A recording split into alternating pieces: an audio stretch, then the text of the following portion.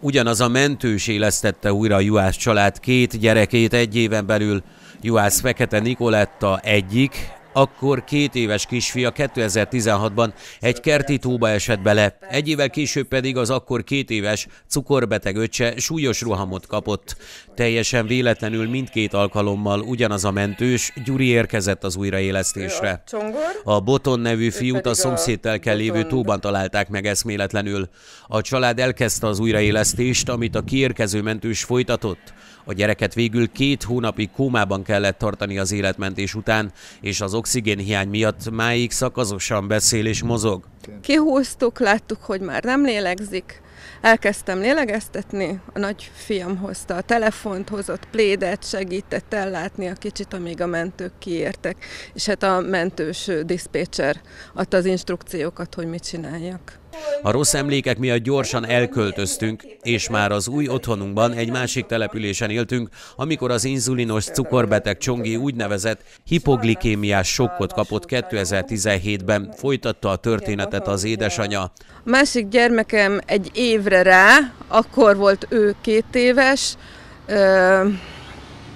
már hosszabb ideje gyengelkedett, mikor kiderült, hogy 34-es a cukorszintje, úgyhogy egyes típusú diabéteses lett, amit hát elég nehezen tudtak neki beállítani, és egy éjszaka rosszul lett, hipoglikémiás rohamot kapott, és akkor is a mentőket kellett kihívni. A gyerekek azóta jól vannak. Gyuri mentős pedig a család űrangyalának nevezte, akinek máig nagyon hálásak. Megmentették a gyerekünk életét, és itt kiemelném a diszpécser hölgyet is, aki nagyon-nagyon nyugodt volt, és nagyon tudta, hogy mit kell mondania, mit kell csinálnom.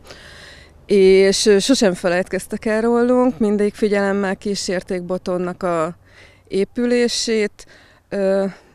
19. október 16-án az újraélesztés világnapján ültettek egy emlékfát a mentőállomáson Botonnak a tiszteletére, és ezt minden évben meglátogatjuk, úgy, mint most is, és vittünk egy pici kis ajándékot hálánk jeléül, és ők is adtak Botonnak.